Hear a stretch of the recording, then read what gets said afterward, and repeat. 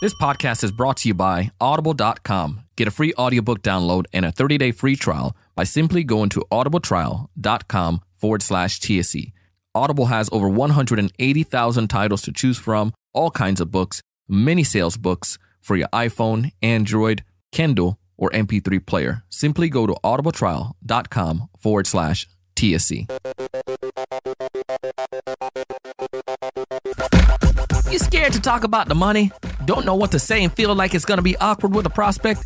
Well, listen, if you can't talk about the money, you can't earn the money. So I'm gonna tell you some ways that you can get over your awkwardness when it comes to talking about money and how you could free yourself and earn the income you deserve. You're gonna love this episode.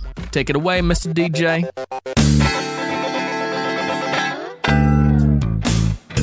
Hey, hey, everyone. Welcome to another great episode of the Sales Evangelist Podcast. I'm your host, Donald Kelly the sales evangelist, and I'm so excited for another great episode. I'm so excited to be here with you today. And as you know, it's another Monday morning. We're out here having a great time, getting ready to start the week off, We're looking to have some great success. And before we do all the fun stuff, though, before we dive into the episode and we start talking about some of those things, you know, I just want to let you know I'm grateful for you. Literally, I, I truly am. You're probably walking right now. You're, you're probably in the subway. You're probably on the train, on the bus, in the car at the gym, grocery store, but I'm talking to you individually and I want to let you know that I really appreciate you. I want to thank you so much for helping us grow the podcast to where it's at today. This is our 292nd episode, and in eight more episodes, we're going to be hitting that 300 mark. And it's just humbling. And to hear your messages and to hear how you feel about the show, how it's helping you, the guests bringing, you know, these great insights and ideas and you seeing the results, it makes me proud to know that we've created something together that can benefit so many people. So many lives have been changed. So thank you, thank you so much. I really appreciate it. And I guess that's my shout out today. It's to you personally, you individually. And I want to just tell you, I'm thankful for you. I'm grateful for you. And if you feel free to feel the desire to share this podcast with anyone, you know, it's always an honor to have you share that. So thank you. I really appreciate it. Now, today we're going to talk a little bit more about money. Money, honey. You know, I like to talk about money. And the reason being because so many people are afraid to talk about money. But you can't. You can't have that in sales. You can't be timid or afraid to talk about money. And there are many reasons why people are afraid of it. It's just, for me, I always thought that, you know, sometimes when my product was maybe was more, more expensive than the prospect willing to pay, or I fell prey to the idea that, you know, they're always going to think it's too expensive or it felt like I was robbing them because I'm trying to get money from them. And these are some of the things the the fears and nuances that goes across, you know, comes into the mind of many sellers when they're out there, they're getting ready to ask for the money or getting ready to talk about money. They just don't want to be, you know, I guess it's kind of rejection too. You don't want people to feel like you're, you know, get a fear of rejection, but you have to be confident in what you have to offer and that the price is nothing more than just a a small investment for the value they're going to get from your product. If you don't have the belief in your product or in your service, you have to gain that belief, or you may have to look for another product or service that you have confidence in. I got to let you know, it is uh, it's nerve wracking now when I'm selling myself. When I sell Donald, the sales evangelist, whether it's for a speaking opportunity or whether it's for training opportunity, you know, it, it's a little bit different in selling yourself because it's in some instance you could probably could feel like, oh, I'm getting rejected, but you, you know, you, you just have to look past that. But I do know from what what I do and what I share and how I train and the things that I've done for clients and the results that they've seen, I'm confident though in my ability to be able to offer value.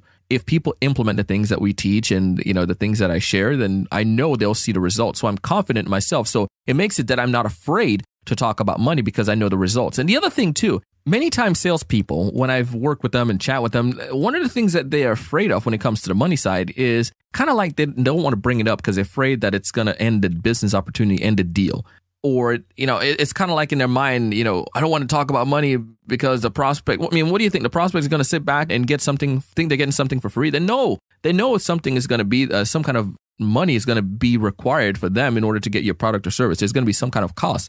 And if you set it up, if you talk about money too soon, or talk about money too late, it could be detrimental. What I like to do, I like to bring up money when I know the value is there. When I like to, so in some instances, if I have my first call with somebody and they have no idea about the process, you know, the opportunity, have done nothing about my company, and they're simply just price shopping, I'll give them a range. You know, you can give them that range, eh, you know, if they're really pushing that. But typically, when I'm sitting down with a qualified customer, a qualified prospect, somebody who's going to, you know, become an ideal raving fan, you know, somebody who, you know, we, we recognize is a fit for what we do and they recognize I'm a fit and they see the value, it's easier at that point to then bring up the pricing and to talk about it because they recognize value. You know, some people are going to just be shopping you. Unfortunately, they're just price shopping. They're just going to go around and shop and shop and shop. And those people, they probably will never ever really do business because they're just trying to find the cheapest one around. And sometimes you win some, you lose some. So don't worry about them. What I want to focus on are people who are ideal prospects, people who are in your your wheelhouse, people who you can serve and who are fit for what you're doing. Those are the people that we all want and we all want to build relationship with. And that's going to, you know, that can be true raving fans for our business. So here's what I like to do. I like to put it on the table right away, you know, get the elephant out of the room. So when it comes to the point where I feel that we've established value, usually after that first meeting where I can offer education and I can learn about their challenges further and, and recognize the difficulty that they're facing and I can establish a value, then naturally the conversation is going to go towards the, you know, what the cost of that product or service may be. It, maybe it's in that appointment or maybe it's in a second appointment or second meeting, depending on the length of your sales cycle.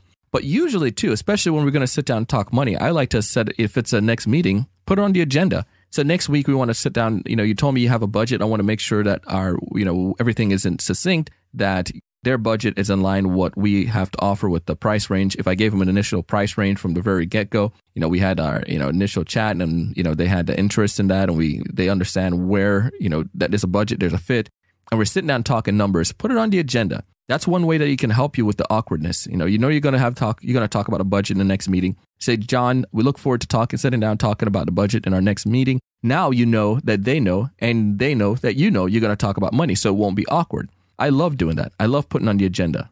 The other great thing about putting it on the agenda is the fact that you guys both know and you're prepared for it. So you can bring information that once again can reinforce the value. Before I talk about the money, I'm going to introduce it in a way to say, based on our previous discussion and what you want to accomplish, you know, challenge one, challenge two, and challenge three, this is what we propose. And that can help you with this product or this solution. And the investment would be XYZ. And I want to get them to talk, you know, I want to get them to be a part of it. Because again, if they're prepared for it, they're going to know. And that's where negotiation comes in. And we'll, you know, you can talk, listen to some of our other episodes on negotiation and how you can negotiate and so forth. But when you are confident and when you come across and you share the value and you are just confident in delivering that message in your pricing and you establish value, it's usually a no brainer. At that point, people don't have that much of an issue. They just know they're going to move forward. And a lot of times, especially again, if they're ideal, they're a fit, they usually have a budget set aside. So they have something already in their mind, what they want to spend. And if it's truly a fit, I guarantee you people are going to find money either way. I've had prospects that I've worked with that did not have the money, quote unquote, but somehow they're able to, once they found that it was of great value to them, they figured out a way to get the money so that this can move forward because it's there. I mean, it's there if it's a true need, if it can truly help them, if they can truly see value or truly increase their revenue or you know minimize their expenses, they're going to do as much as they can to make sure that they get that product or service. The other thing that I would say too is to practice. You know, practice, do this in a role play. Sit down and talk about money ask those questions to yourselves that prospects typically ask you about money. And the more confident, the more practice you get with something, the more easier and more effective you're going to be in delivering a message when it comes to talking about money. You can't be just, I guess, you can't be scared to talk about money. This is sales.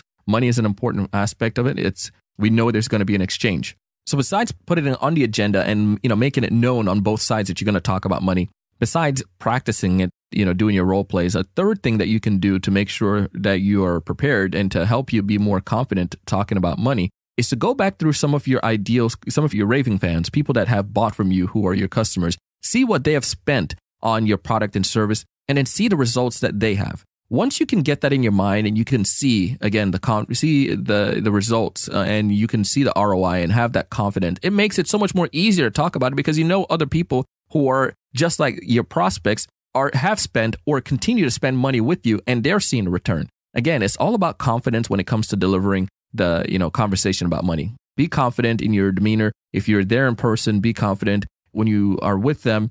If you're just over the phone, be confident as well. And usually when you talk about the number and you share the number, be quiet. Don't be afraid of silence. They didn't kill you, did it? you know, don't be afraid of silence. I've done an episode on that. And usually, sometimes they're thinking. A lot of times, what happens when salespeople, after they say the price and the prospect is quiet, what will usually happen, the, salesperson will start coming down. We can be a cheaper, we can go less than that. And you just shoot yourself in the foot. You don't have to do all of that. You know, just be quiet. And they'll say, okay, that's great. And uh, you'll be amazed how many times uh, people are willing to spend more than what you have said. I've shot myself in the foot one too many times where I've lowballed it and I could have gotten more for the value that we had to offer. But hey, you live and you learn, and then you do podcast episodes and tell people about it. But all in all, I, I don't want you to be successful. I want you to be confident when you talk about money. I don't want you to be afraid. I don't want you to be squeamish. You know, you have something great to offer. Tell the world about it. And yes, there's a value behind it. They have to exchange their money. They have to give up something of value to get something of value. That's how it works, okay? so I wish you great success. If you have any other strategies that you've done or you see to be very effective when it comes to talking about money, feel free to drop me a tweet or drop me a message on LinkedIn, send me an email, mention it in a Facebook group. Would love to hear from you. All in all, I want you to be successful. I want you to be happy. But most importantly, DK wants you to go out and do big things.